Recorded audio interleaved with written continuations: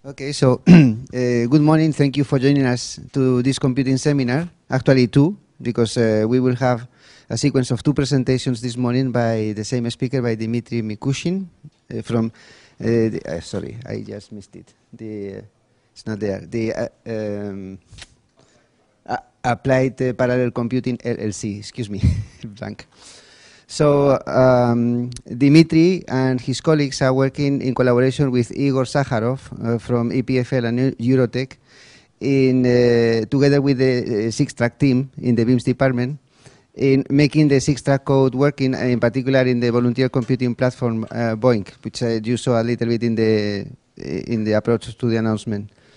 So the the idea is just to offer you today in two parts the work that Dimitri and, and his team has been uh, developing about the porting of Fortran code into GPUs, which is quite interesting by, by itself. Its legacy code is fine, it's Fortran, but still it is the code which is working. It, it is, has been working for years, and there is no reason why to, to do different now. So what the idea is just to make the effort to make it work in as many platforms as, po- as possible.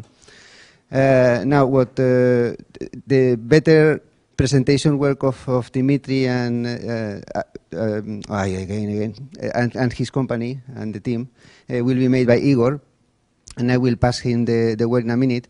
But before doing that, uh, I remind you the following: that the, these presentations, the two, will be recorded. So if you have colleagues who couldn't make it uh, this morning for whatever reason, just let them know that it will be uh, the recording. Bill will be available in the seminar's website. It's the same place as you will find a copy of the slides later on during the week. Uh, if you have questions, and because we are recording, please use when you have the questions the microphone which is next to you. You will have to push the, the red button, the red uh, key, which is on the panel, and like this we can just record your question as or your comments as well as the as the replies. Um, other than that, well, if you have uh, mobile phones, I have to do the same with mine. Uh, please put them in silent mode. Like this, we don't get disturbed in the presentation. And also, uh, last thing, in order to allow people that eventually are interested in the second talk but not in the first, uh, if we go short, we will stop until 11. So this means the first talk starts at 10 and the second at 11. So if there is time in between, maybe not. Igor is telling me that maybe we use up all the time. But if there is a time in between, that just that you know that we will stop on purpose until 11, just to make possible that the people who want to come or the people who want to leave uh, do so. So uh, Igor, if you want to present Dimitri better than me.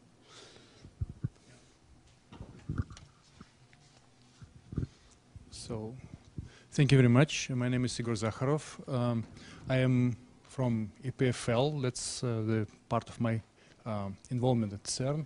I also work for a firm called Eurotech, which is involved in high-performance computing. Um, so the idea for this talk came up when we realized that uh, there is untapped potential out there in terms of accelerators being already shipped with every computer or virtually every computer in the world. Those are the GPUs uh, and other devices which are used for graphics and can be used for computing as well in a very beneficial manner. Uh, we are not uh, leading here. There, this is already a proven concept, in effect, in a sense, and we want to make it possible for CERN programs also to benefit from this opportunity. Now, uh, why SixTrack uh, and why uh, this particular approach? Um, we have in this group uh, a, what I would call a typical CERN program, uh, which is uh, known to many of you, maybe for people who do not know. It's a, a modeling simulation of particles going around the accelerator. Uh, it scans over phase space variables and uh, beam parameters to accurately predict under which conditions the beam will be lost. And uh, it's important to know this kind of things because losing particles in superconducting magnets may quench the magnets and you lose uh, the beam and possibly also the magnet as well. So um, this is the modeling. Uh, we do large number of turns, so the program takes very long. And as we scan a huge parameter space, uh, it is a massively parallel uh, job, which is typical for CERN jobs uh, at large. Uh, we do a lot of Monte Carlo studies, as you know.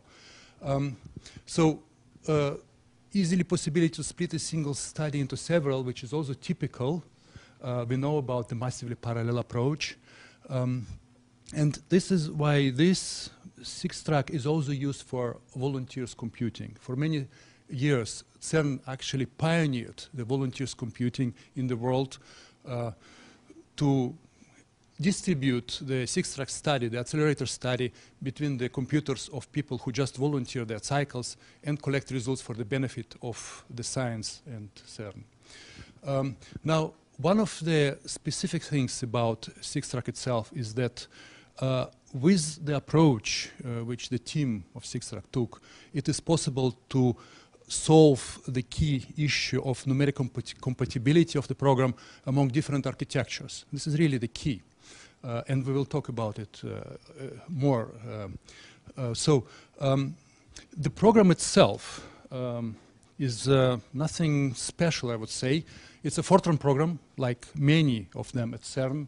Um, to maintain this key uh, numerical compatibility across different architectures, it uses special uh, library for mathematical functions. Otherwise, it, is, it has heritage in uh. Uh, it uses C routines for many special tasks, as many CERN programs do. Um, it operates in a transparent manner on the batch system at CERN and also in the volunteers' uh, computing world. Uh, which is nice. And um, that's what we use to send it around to the PCs out there. Now, altogether, the program itself is small enough to be a vehicle for experimentation as well for what we want to present today. It is how do we take a typical program from CERN like this and make it possible to accelerate it on the special devices like the GPUs. That's uh, why SixTrack as a study vehicle, and uh, that's why we're here today in this pa first part of the seminar with an expert in the field. Uh, Dmitry Mikushin is uh, uh, leader and um, um, actually director of parallel uh, parallel applied parallel computing who uh, this is a company which specializes in porting of applications to GPUs uh, it is a NVIDIA certified, uh, certified uh, body for studies like this and for seminars like this. And so we invited uh, Dmitry Mikushin to help us with the project, and I am delighted that he is here and uh, happy to extend his expertise to this project. Dmitry, it's to you.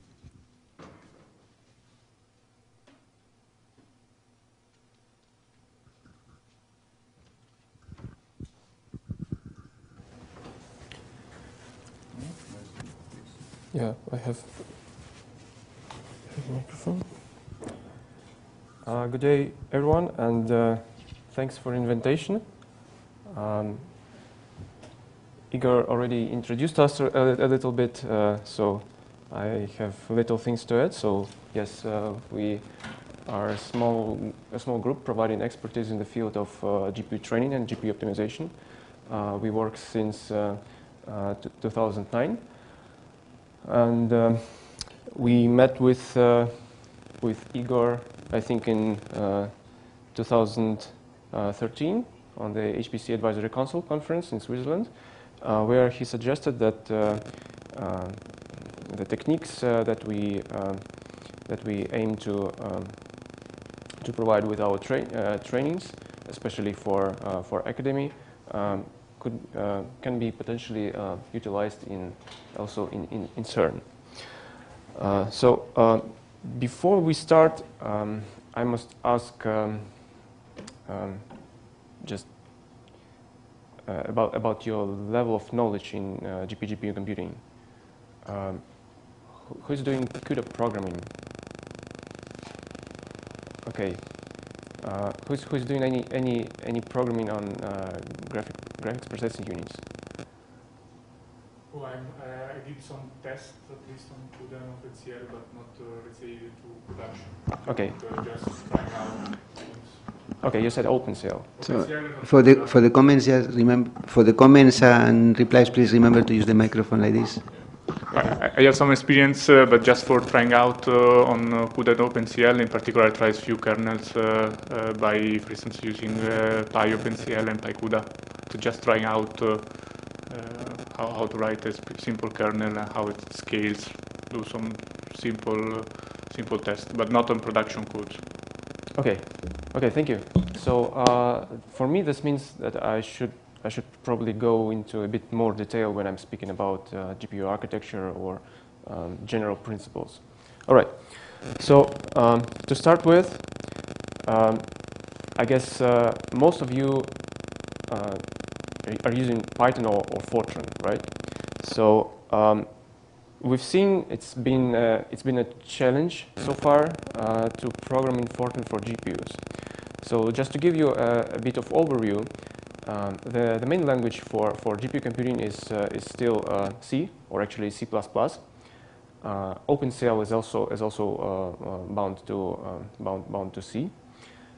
Um, Fortran is was um, generally the second second stage of interest in terms of uh, HPC computing on, on GPUs.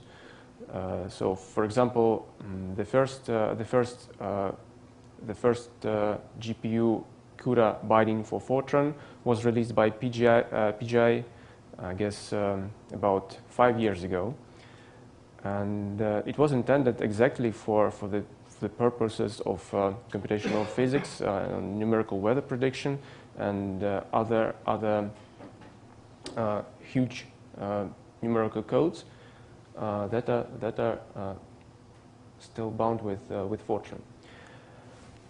So uh, this means that uh, Fortran is not is not is not the first the first focus uh, for for this for this kind of hardware facilities, but uh, but we still can do something to enable uh, to enable GPU computing on Fortran. Um, in particular, we have uh, we have two different approaches. Uh, first one is uh, based on directives. Uh, directives essentially mean uh, that you have uh, that you have your original code, like in like in Fortran, maybe maybe with some uh, do do loops, and you can simply annotate these do loops with with pragma, parallel, some directive, saying that you know, that the compiler should do some underneath transformation of of this code into um, into a binary for into a kernel for for GPU that uh, will be um, will be uh, will be linked uh, with your main program in the background. So all the details of GPU computing will be will be hidden from from the programmer in this case. So you just you just put a hint for the compiler, and the compiler completely does the job for you. In case of directives, and in case of CUDA, um, in case of CUDA, we uh, we use specific language extensions to, uh, to, program, to program GPUs in a, in a very detailed fashion. Uh, for example, um, we specify the, the compute grid, we specify the configuration of, of, of threads uh, on, on the GPU, uh, what, what workloads uh, will, will go to which, which blocks of threads, and, and, so, and so on. So the difference between these two, two groups of directives and CUDA is that for directives you have very fast and um, and uh, very uh, very very very very easy start. Uh, but uh, your performance might be limited by the capabilities of compiler, because the compiler will be responsible for everything uh, what, will, what will be generated for GPUs. So it does com it completely does the job for you. And in case of CUDA, uh, the opposite uh, you completely rely on your, on your own knowledge of GPU architecture. So you program everything explicitly, uh, and what, whatever you want. So uh, this means that in case, in case of, uh, in case of CUDA, in case of explicit uh, GPU programming, you have more degree of freedom. So if you, if you are an expert GPU programmer, then you should probably go with this approach because uh, it will, it will potentially enable your, your more efficiency on GPU if you, if you, know, if you know how to utilize it. So um, directives, uh, OpenACC and OpenMP4 are both available for, for Fortran. So that means that means that without, without real Fortran programming for GPU, you can, you can, uh, you can already utilize directives uh, to just to transparently offload uh, um, the, uh, the, the, key bottlenecks, uh, the, the, the, key compute kernels of your code uh, on, on, the, on the GPU. So OpenACC is a standard developed by NVIDIA and NVIDIA and company. It also, it's also supported by, by Cray, PGI, um, in fact, um, in fact, it's similar to OpenMP. Um, uh, I guess you know about OpenMP, do you? Uh, so OpenMP is a, standard, is a traditional standard for multi-threaded uh, programming on CPUs. And uh, uh, recently it, it, has been extended uh, with a set of directives specific to accelerators. Not only, not only NVIDIA, but also OpenCL they all, they all now support specific sets of directives that instruct the compiler to offload computational loops onto, onto accelerators. We will see examples in the next slides. So for CUDA, um, things are a little bit more complicated. If you, if you are a GPU computing expert and you have to work with Fortran, then uh, I'm afraid that CUDA Fortran, which is a proprietary uh, software by PGI, is the, is the, only, is the only choice in, in production stage.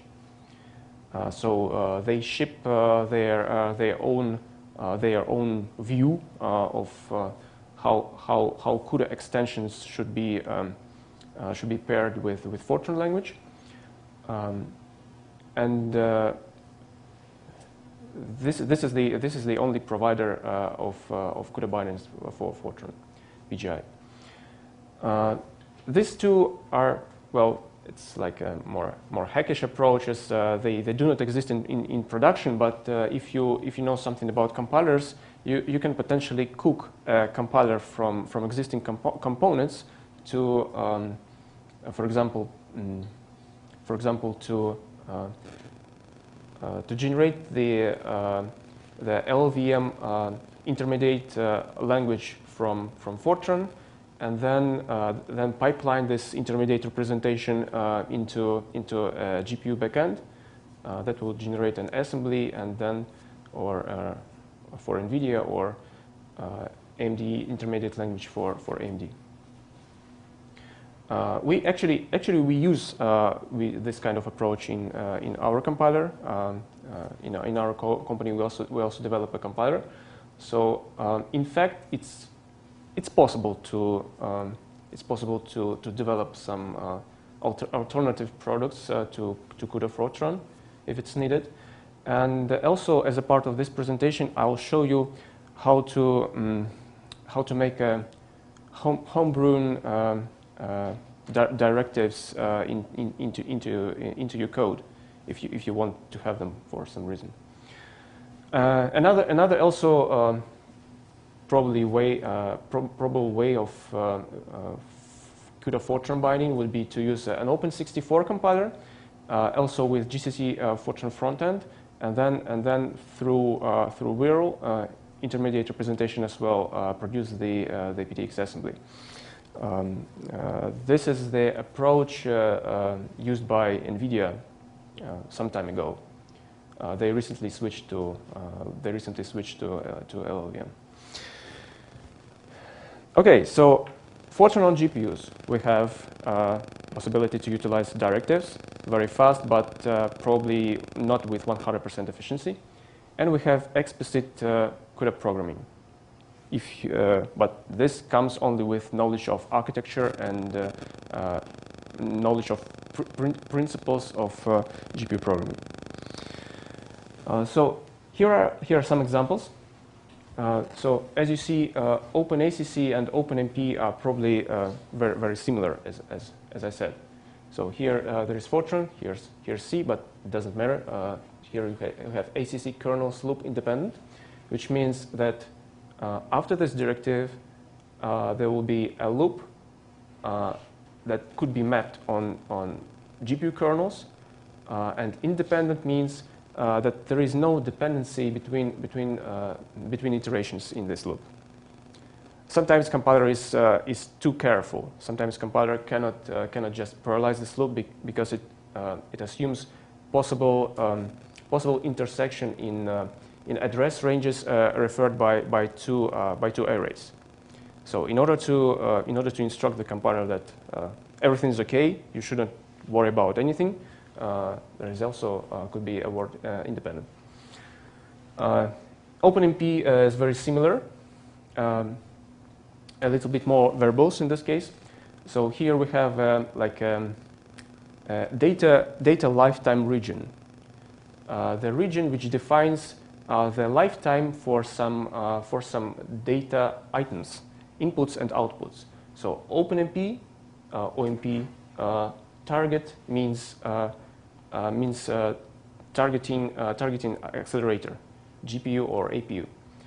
Uh, data means that we are defining the data region and uh, we map uh, x vector as an input and we map uh, y vector as an input plus output.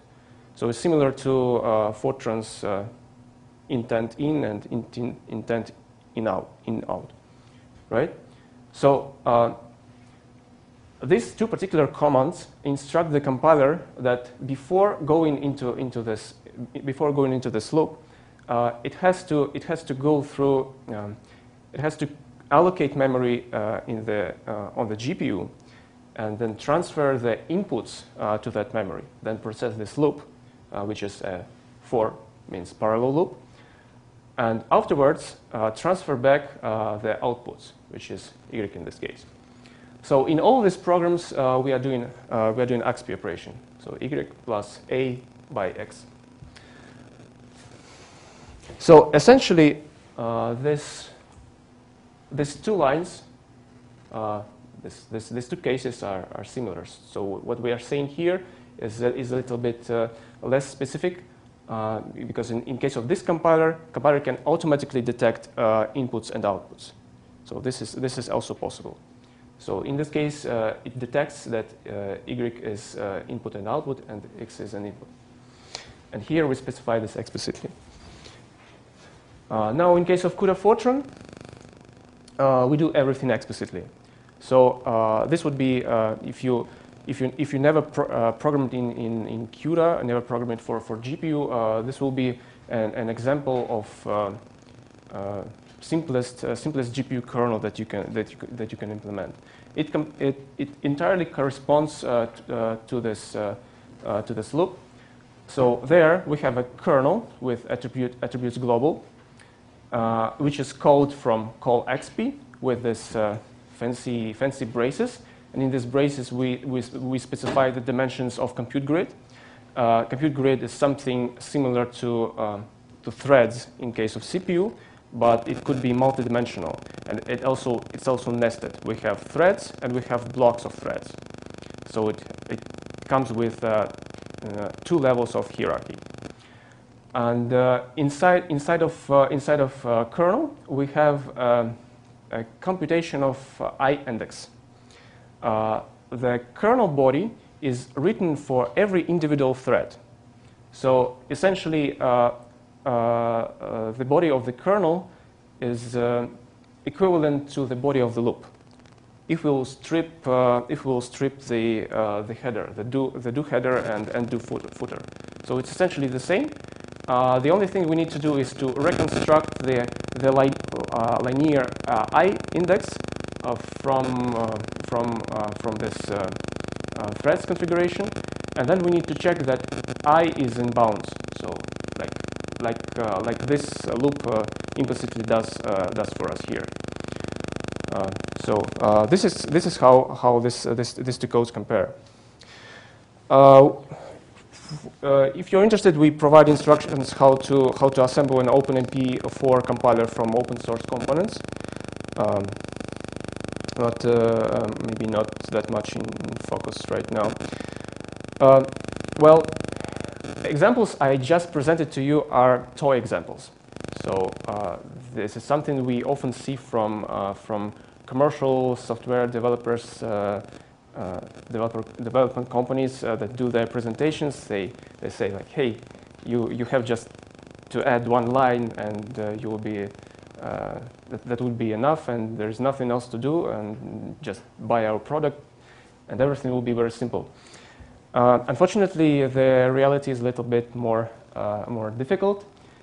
Um, we, we, have to be, um, we have to be aware of, um, of specific problems that happen in our case in, um, in case of uh, huge codes. So first of all, um, let's look uh, into this uh, diagram of uh, throughputs in, in, typical, in typical system equipped with CPUs and GPU. Uh, for example, like a desktop machine. Uh, as you see, the throughputs between, between CPU and its, its main memory is quite large also uh, as well as uh, the throughput between, between GPU and its local memory. Uh, the problem here is that uh, the PCI Express bridge between, uh, between the CPU subsystem and GPU subsystem uh, is just, just about nothing compared to, compared to these numbers. Factor of, uh, factor of 10 or factor of 100. So uh, the thing to observe here is that if we, if we keep our data on CPU then we compute something, and, we, and then we want to compute something, uh, something with the same data on GPU, we have to transfer this data through this connection.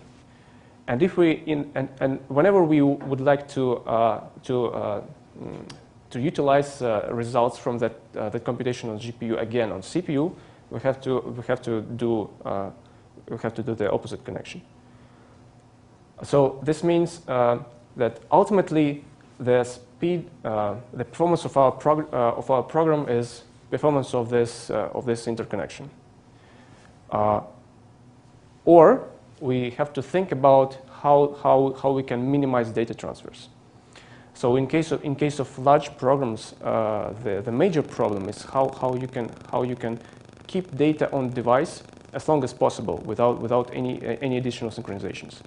Because this, this bridge will, uh, well, it develops uh, we see uh, we see new standards are uh, are introduced. For example, PCI Express 3 or PCI Express 4 but uh, mm, but believe me, it will never it will never ever reach uh, the same uh, the same throughput that will be offered between between between the device and its own memory. So. Um, so if we have SixTrack or, or, some, uh, or another, another uh, large code base, we would probably um, use uh, this snip, snippet on the, on the right. We will define a data, uh, data lifetime region some, somewhere, let's say, somewhere outside, like, uh, like in the main program. And uh, everything that will be inside this region not necessarily explicitly. It could be also inside external calls from this region, uh, maybe calls to other functions, functions from, from another sources, whatever, call, uh, libraries uh, as well. Uh, every, everything will be, uh, will be assuming that this data is already present on GPU. Uh, so you, you, already, you, already, uh, you already can see uh, uh the, the problem of, of GPU computing here hits, hits the, the complexity of of, of software. Uh, in order to, uh, in order to um, um, let's say, uh, accelerate a small portion of, of, your, of your model, uh, you have to, uh, you have to, you have to refactor, uh, in, in fact, you have to refactor the whole code in order to provide efficiency in some, in some particular place, uh, you need to uh, you need to make you, you need to make the data the data transfers efficient, and you can't do efficient data transfers without maintaining this uh, this uh, data layout um, globally for entire program.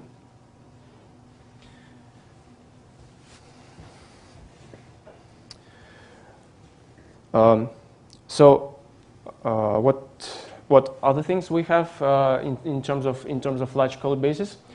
Um, you know, this is the case of uh, Floop with, with external code. So uh, whenever, whenever we are uh, assuming this, uh, this goes uh, in, onto GPU, let's say with this directive, um, we have to prepare everything that would be code from, from, from this body to be on GPU. It, it, depends how, how, how, how, how, how it should be done in, uh, in particular way. For example, in, in, case of, in case of OpenACC, we need to add additional, uh, additional directives also on, on the function header. Or uh, in case of in case of CUDA Fortran, we need to annotate the function uh, function with uh, with attribute attribute device. So again, um, let's say we have a large program. Uh, uh, this is the main, and it has dependencies. Then all these dependencies have to be maintained somehow in order to um, in order to uh, get the things work all together on GPU. And yes, uh, older, uh, older or simpler OpenACC compilers uh, do not inline very well. So uh, the simplest approach would be just to just to copy paste that that code uh, inside inside this body um, on, on the compiler level. And we've seen recently PGI OpenACC started to do this. So this is no longer no longer that much a problem. Um, the question of performance uh, is uh, um, we can uh, we can we can see it on this on this example. So um, uh, let's pick up some array, like for instance, for instance. Hmm. Right, so ij here. So uh, as we know in Fortran, uh, the, the fastest index is to the left, right?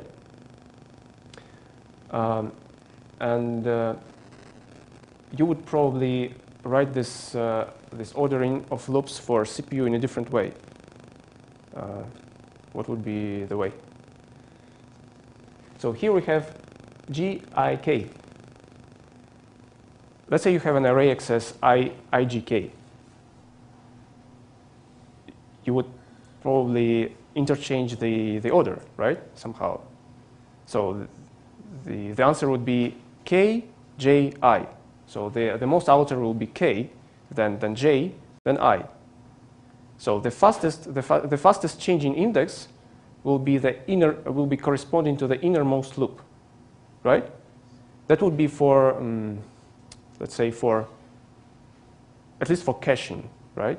If you're, if you're, if you're going, if you're going through the same line, it would be favorable in terms of, in terms of performance that you, you are staying on the same line as long as this line will be cached in the, in the, in the CPU cache, right? Okay, so and here we see uh, that K is uh, jumping inside, inside of here. Um, uh, this, uh, uh, this is what we probably would be needed for GPUs. Uh, and that would, that would be the, the ordering of the best performance on GPUs. This is this is kind of tricky tricky thing uh, because this means that we that we map onto onto threads only i and j loops, and k loop is within a single thread. So one one thread of GPU is not responsible just for this single iteration. It's responsible for the entire uh, for the entire inner loop. Uh, this way, we, um, we kind of, uh, this is one way to maximize the, the occupancy, maximize the, the performance of, of a single thread on GPU.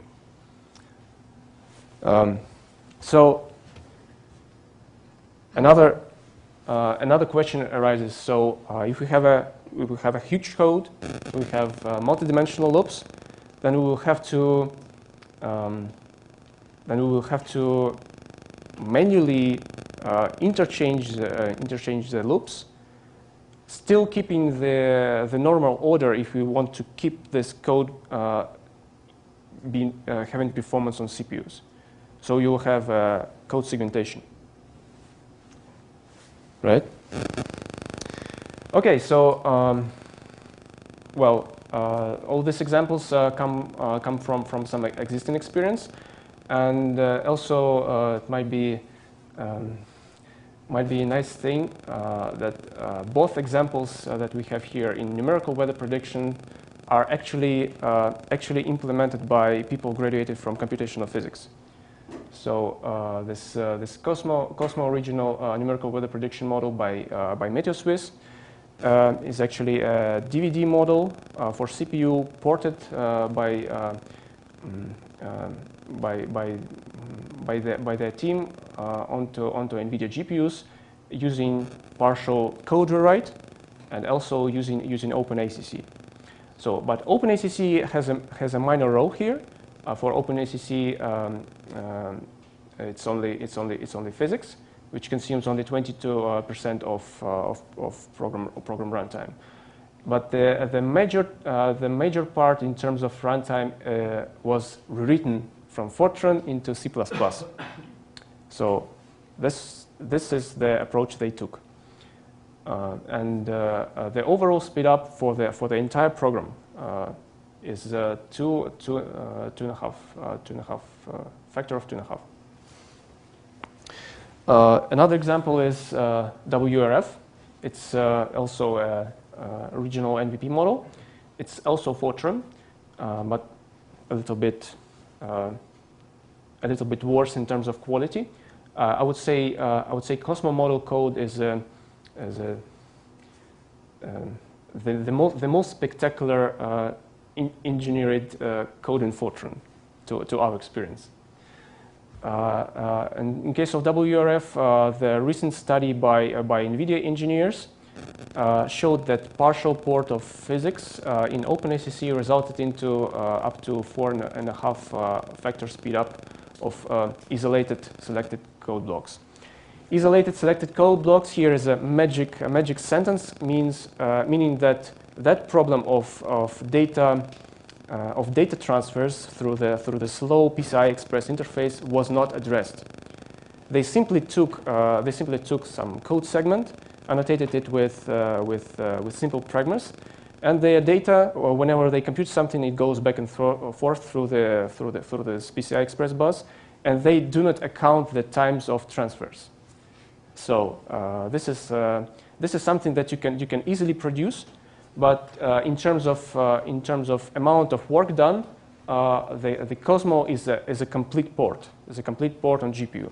And WRF is just, uh, is just, um, just a test study, let's say. And it's like one, 1,000 miles from, from this state to this state.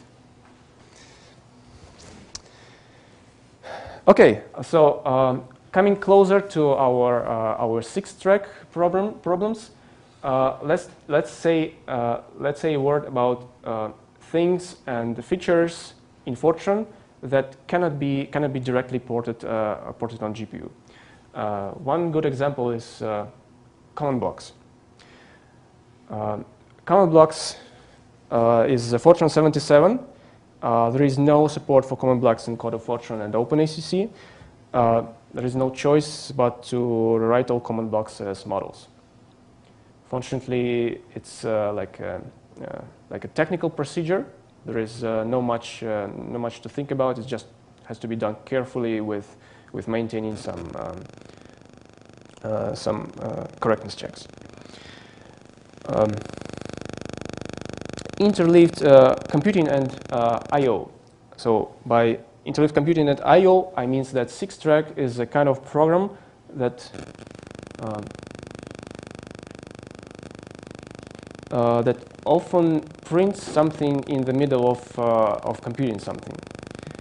And uh, I don't think that we can easily alter this behavior uh, without, without contacting, contacting the developers and I feel that developers will be un uncomfortable with uh, if we will enforce them to, uh, to stick with some particular way of, of programming.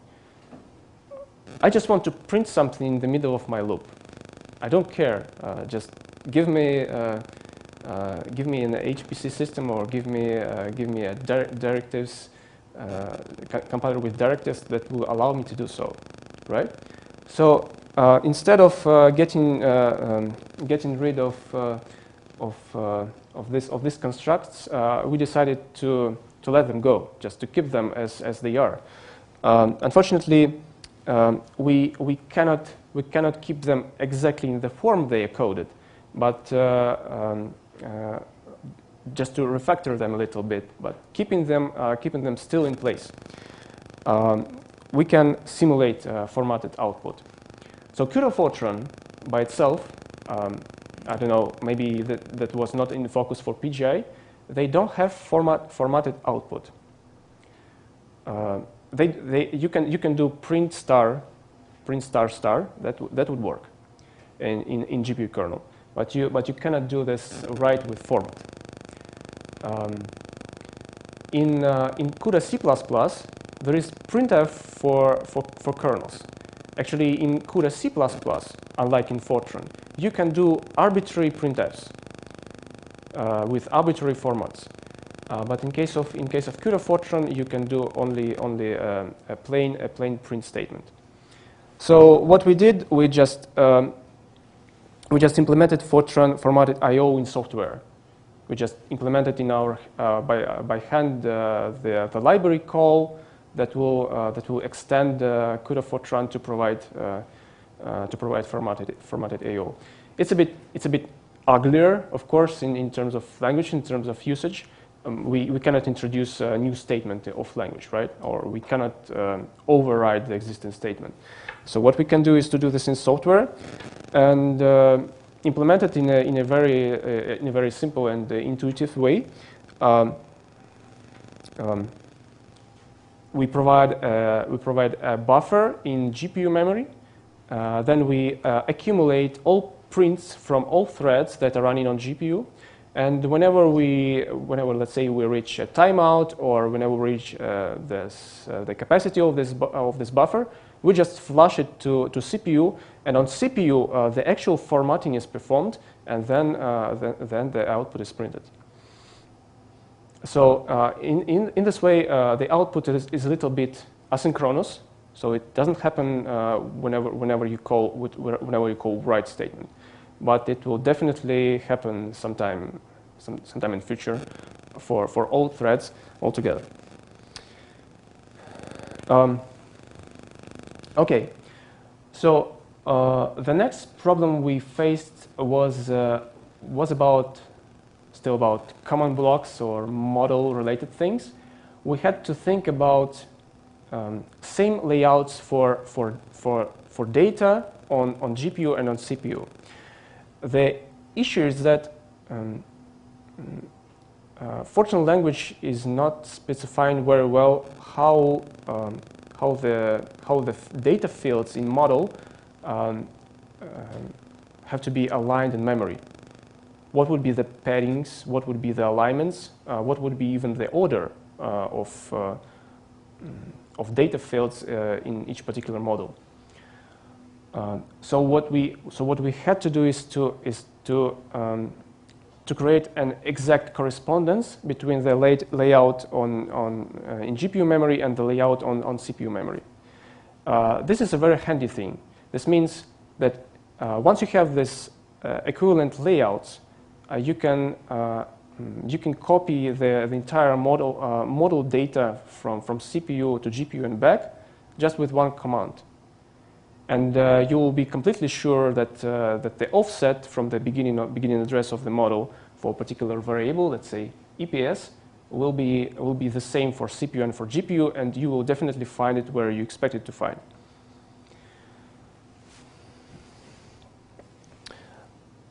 So, uh, for instance, we have, an, we have a running experiments with, uh, with, with particles, and we decided that uh, uh, too, too, too, many particles are lost, and we are, uh, we, do, we are no longer expect efficiency on GPU. So fine, then we can just copy the entire state of, uh, of, this, of this experiment from, from GPU uh, to, back to CPU, as long as uh, it completely correspond, uh, corresponds in terms of layout, and then continue, continue on CPU. Uh, the same thing when we do when we do uh, an initialization, we can initialize with uh, whatever assimilation or observation uh, preprocessing things uh, you might you might you might additionally develop for SixTrack because we know the SixTrack is not static; it's developed uh, all, all the time. So you, you can you can still develop additional things on CPU.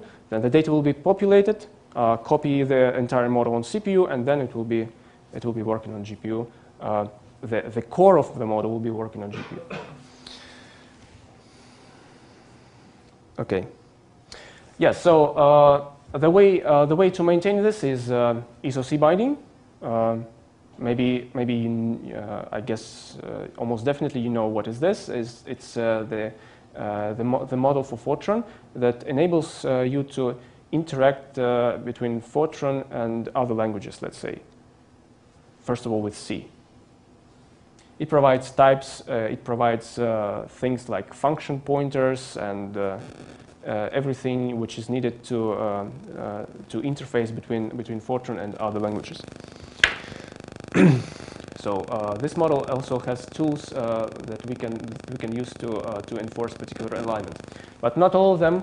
So we have we, we, have the ordering here, and we have naming, and then somewhere in the on our compilation rules we, we still have to enforce the alignments. So alignments are enforced on assembly level. Uh, thread safety. So um, going a little bit forward uh, for, for this case, um, we, we are aiming to do ensemble simulation with, with SixTrack. Not, not, just, not just a single experiment, we, we are aiming to do ensembles. Um, given that we want ensembles, um, we face the following issue. Um, model in Fortran is just like a, it's like a singleton. It's, um, it's just a single instance in memory. You don't have uh, language features, uh, well, except, uh, except Fortran, Fortran classes, but I don't know, I don't know anybody who, who's, who's using classes in Fortran. Uh, so model is not, is not a C++ class we cannot easily clone it. We cannot easily uh, uh, replicate uh, copies in order to, um, um, let's say, in order to in order to have multiple experiments of SixTrack in a single in a single uh, program body in our case, right? So, uh, in these terms, uh, the the data containers used by SixTrack Fortran program are not thread safe. We cannot we cannot utilize the the way the way the containers are, are designed uh, by more than by more than one by more than one thread. So with with existing design, we we cannot even do a multi-threaded program if we if we want if we want to dedicate uh, one thread to to one experiment. Uh, so. We have nothing to do but to, uh, to provide an individual instance of uh, experiment state for, for every experiment in our ensemble. So the question is how to, how to do this in an easy way without, without refactoring uh, the whole program. Uh, well, um, uh, the brute force approach will be just, I don't know, um, transform all these colors into arrays where the dimension of array is the, is the number of uh, experiments in ensemble, right? That would be, but that would be a mess. That would introduce an, an additional index on the 200,000 uh, lines of code. So it's, uh, well, it cannot be afforded uh, uh, in, in, any, in any, any, any future. So uh, this doesn't, definitely doesn't work for us. So uh, that's why we are going for more, well, more low level, more, more Haggish approach. We, we clone the space for data sets using low level tweaks. Um, so in fact, we, um, we, we, we, we, we can always get into the, into the running binary, binary executable, retrieve, um, uh, let's say, retrieve the, uh, the starting address of the model, and then um, like allocate space, uh, the, the, same, the same amount of, of space for this model and clone this model to that, uh, to that free space. So that would be like a low-level workaround. So in terms of Fortran program, we will, we will still see uh, a single instance. But uh, uh, on the low level, uh, on the level of our runtime library, we can cook something um, to make it to look like we have a single model instance for every experiment. Uh, yeah, that would be essential if you, if we want to if we want to keep the code unchanged. Um, so how much time do we have? in principle, you can new people is coming anyway, is going to come to the end of the first talk. So Oh, okay. Yeah. So, uh, excuse me. Sorry, I'm. mm, I feel I am a little bit slower, uh, but, uh, but still, I will continue with uh, with uh, with our issues um, with respect to with respect to SixTrack, but also um, also important in in, in in generic uh, Fortran uh, GPU code programming. Uh, so, the main question is. Uh, probably you're already wondering why we are doing ensemble. Why we are doing ensemble if, um, um, if we let's say, if we have MPI, right? We have MPI, we can, we can MPI run uh, like 1,000 instances of a, of a single SixTrack program, and then uh, they all will be, uh, will be done uh, also in, in, in ensemble in a very easy, in a very easy way. Um, the thing is that um, on, on GPU, we cannot do, uh, we cannot do uh, multiple, um, multiple processes. Uh, we can do multiple kernels with, uh, with some hardware limitations, um, but that would be still not enough for us. Why not enough?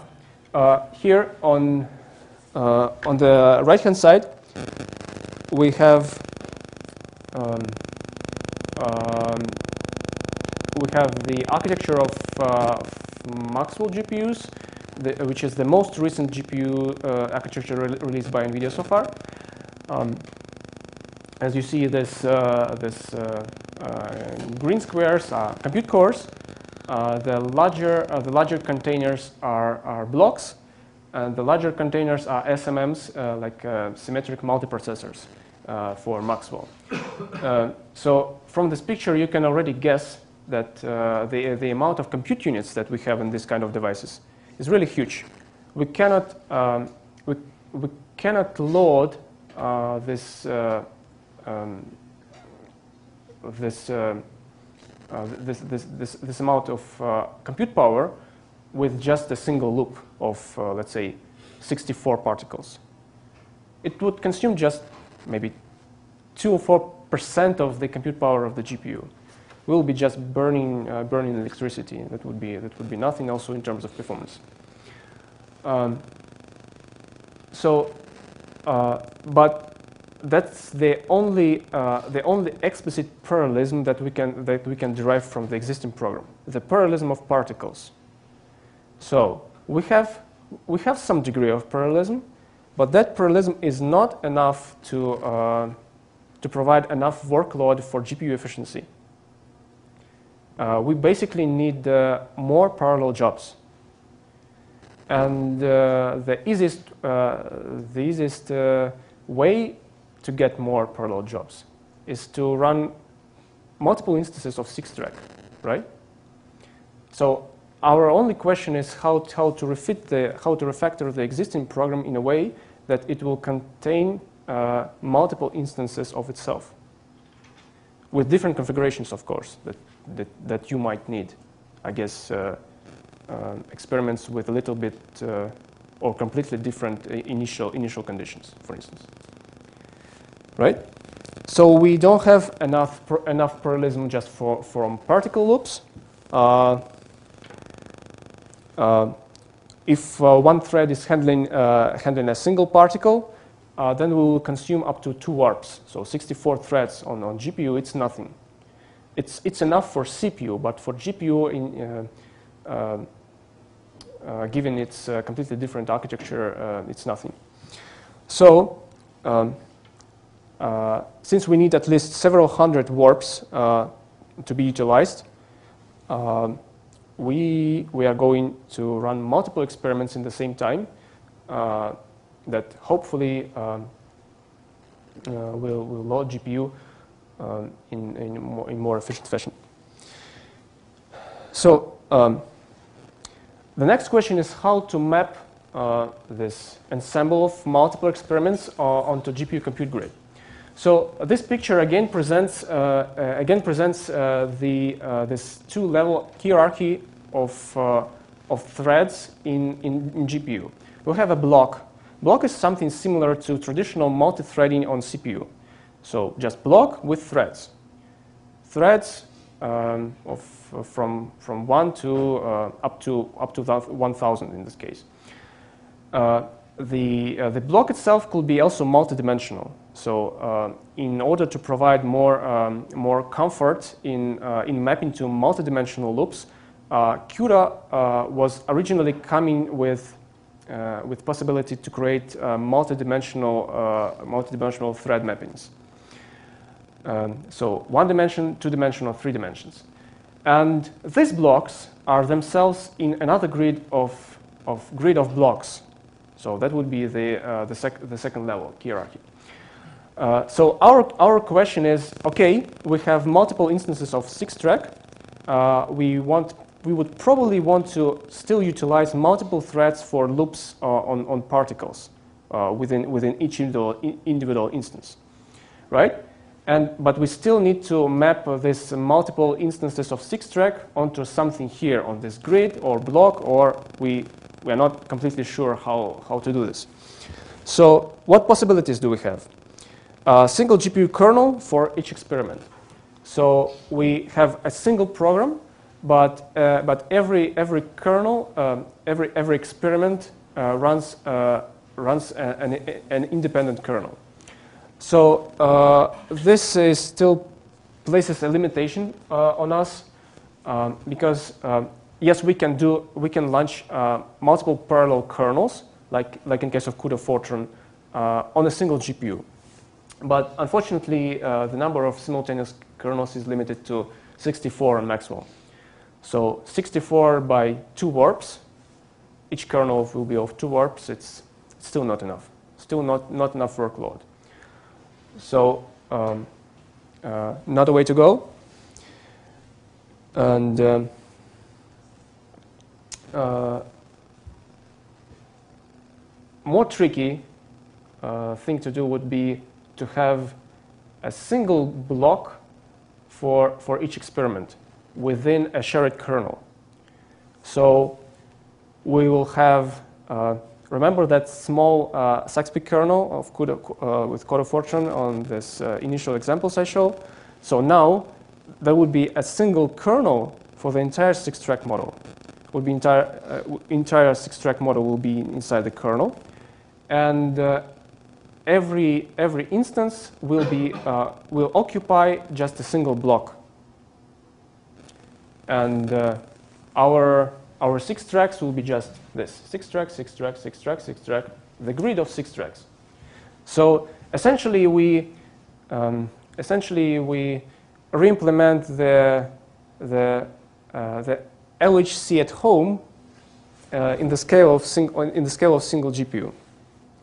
So uh, in terms of nature of, uh, of grid computing, we, we, are just, we are just providing a fat node. So instead of a single user with, with a single instance of SixTrack, uh, we are saying, okay, we have more compute power on GPU. In order to fit the existing interface, uh, we, can, uh, we can assume that uh, this, this is a, like a grid of users, grid of users, and they are providing results for multiple experiments in the same time. So, yes, question? This would assume that you can run the whole SixTrack program entirely on GPU. Yes. So yeah, I'm, I'm, I'm about to I'm about to continue this in, in more detail. Exactly. So uh, one experiment uh, occupies one block. Uh, one block. No no more any hardware limits uh, related to multiple multiple simultaneous kernels. Uh, and uh, that would provide enough parallelism to to load to load all compute units. Um, uh, the question, however, here is, um, uh, yeah, I think, yeah, so still, yeah, so this, this on this slide. Um, still, uh, we, have, uh, we have a degree of freedom uh, whether we would like to, uh, to, um, to share, um, to have a shared kernel just for a single loop, every, every single loop, or we would like to have the single kernel uh, for, the, for, the, for the entire model. That was your question, right? So um, we believe that uh, it will, well, sorry. Yeah, unfortunately. Um, that would uh, that would unfortunately give us uh, stalls for, for synchronization after each kernel launch. So just imagine how much how much small uh, loops on uh, on particles we, we have in our program, and after every every such loop we'll have a synchronization, meaning that we will wait for for GPU um, uh, to finish to finish the kernel launch. Right.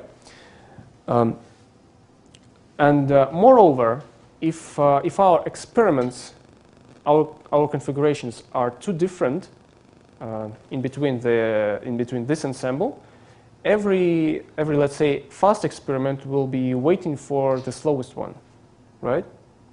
So um, in terms of synchronization, in terms of, uh, in terms of waiting times, we will still uh, lose a lot of compute power.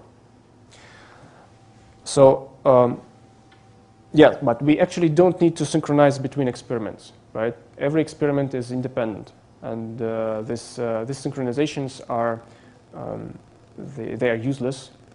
They're just spending our time. Um, and the alternative would be a single a single kernel for this for the whole SixTrack code, as, uh, um, as as we wanted to discuss, right? So in this case, uh, each experiment is computed independently um, without stalls or synchronization. So our, our stall will be just in the, in the end of the model lifetime, the, the single stall. Um, still, the problem arises. Um, our code is composed from both serial and uh, parallel code portions, right? So we have, we have loops, and we have the code which is in between of loops uh, we have to deal with this somehow. Because um, if we will assume that uh, our SixTrack model just go, goes on, on a single block, uh, then every thread will be executing, uh, executing every line of the code, which, which means that serial portions will be, will be incorrectly executed multiple times, right? So we either, uh, we either have to provide the complete thread safety, which is not possible, or we will have to filter somehow um, additional threads um, on, on serial core portions, right? So uh, this is uh, here the, the, the, another technology we implemented. Um, well, just to explain you uh, on, this, on this basic example. Um, this is a code snippet. Uh, some serial code, serial code, and here in between we have, we have parallel code. Uh, this entire thing goes on GPU. It goes, it goes for, for all threads of a single block, meaning that this serial code will be called by every thread. That will obviously bring our, uh, our code into incorrect, incorrect state. So what we have to do is, on, like on that right-hand side, we have, to, we, have to, we have to provide that if we are doing this as a single thread, then we call in serial code, then we do, uh, then we do a do loop, somehow, well, of course, do, uh, do goes away. We no longer have do uh, uh, inside, inside of thread. then again, serial portion, and we again are setting up a condition that this code portion will be executed only, only once on one thread of block. So again, uh, we are facing uh, we are facing the problem of code refactoring, right? So uh, coming to this step, we have to, uh, we have to look through uh, all our code base and um, um, refactor it in, this, in some similar way. Just detect all, all serial code portions and uh, filter them with additional uh, if conditions. Well, yes. This also means that you'll have to synchronize before you go into parallel section. Absolutely.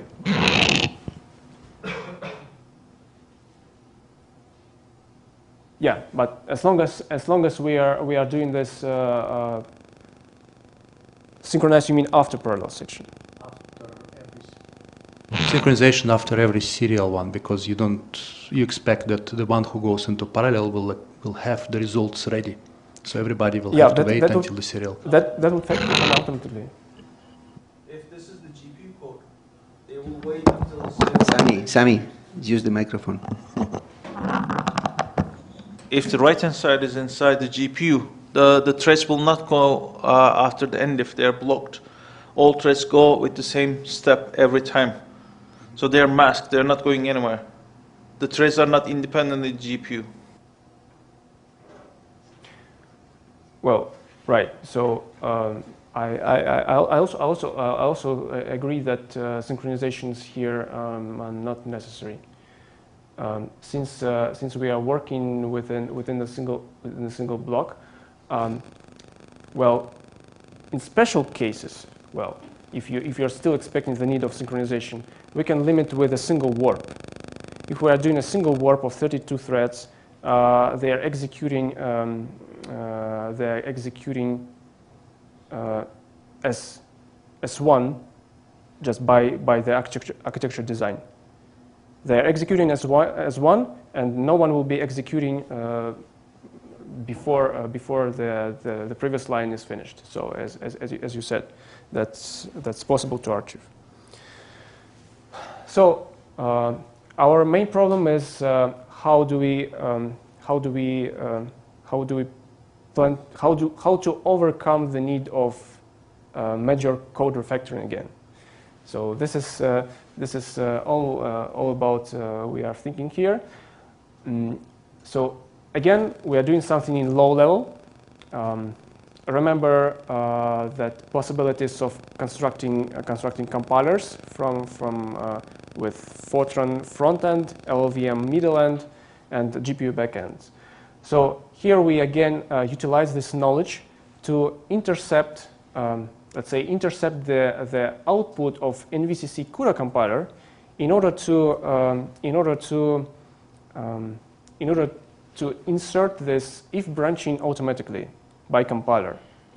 So what we have to do is, by hand, is to annotate all parallel loops just with something that we can parse with, with our compilers. So we, we introduced, we introduced pardo, pardo or something uh, in, in our code.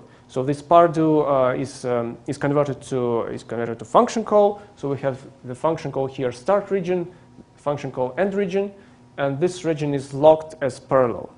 And then we, uh, then we, uh, we capture uh, the intermediate, um, intermediate way, uh, intermediate representation of compiled code from the, from the CUDA compiler uh, without this if branching. And then by parsing our, uh, by parsing our hints here, we can, we can introduce this, uh, this branching, branches just, just, by, uh, uh, just by utilities available from, from compiler infrastructure. So as long as this process could be automated, uh, this, uh, this if filters could be set automatically, um, we utilize this at compiler level.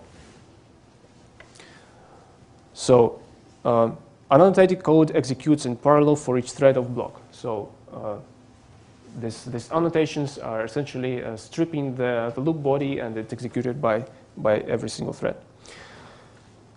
Okay, so uh, the conclusion for this, for, for this part, uh, a, bit, a bit late, uh, unfortunately, that the code has to be modern, modernized at least to Fortran 90.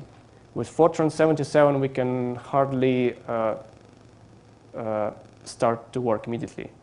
So um, I think um, several, several initial weeks uh, with our development were spent uh, just, just on refactoring to Fortran 90.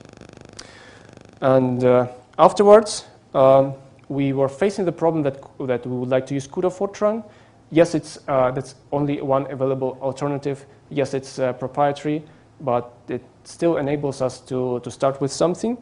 And it's still missing some, some important features in our case, like uh, formatted I.O. and also uh, multi, uh, like uh, strings, well, multi, multi-character uh, character arrays. Uh, also, also not available in CUDA Fortran. so we had to overcome this by introducing these things in, in software. Uh, ensemble simulations are crucial for, uh, for GPU performance. Uh, the ensemble simulations is the way for us to, um, to, deliver, to deliver performance from GPU. This still fits the design of LH LHC at home. We're just providing the, the FAT node, uh, which is able to produce, uh, to produce uh, SixTrack results as if it was a group of users. And compiler can be customized to, um, to provide interleaved parallel, and, parallel and serial code for us. since we, we choose this um, uh, this instance to, uh, to block mapping, uh, where, where we have the code by default executed by all threads in, inside and outside of parallel loops. this presentations, I guess, will be provided uh, to, to attendance. So just, just to focus your attention for the moment, uh, this enabling on-the-fly manipulation with LLVM IR code for of CUDA sources uh, is like a sub-project we, we, developed, um, we developed in order to provide this, uh, this low-level compiler facility. Uh, you, you can go to the GitHub uh, project site and then uh, read more if you're interested. Also, the open source LLVM-based OpenMP4 compiler is open source, meaning it's free. Uh, you, can, you can immediately do OpenMP on NVIDIA GPUs if you want. Also, the references to uh, to existing, existing uh, Fortran uh, works with numerical weather prediction models. Okay, and uh, in the second part, we will go through a little bit more technical details uh, for, for SixTrack current state, and uh, it would be it would be super useful if if we'll accumulate some feedback from from attendees on um, on, on how we modified the, the current code base. Because I guess uh, at some point we'll have to, we'll have to uh, return, uh, return our contribution, our branch back to the mainline, uh, which means that we would like to uh, hear your feedback. Okay, so thank you.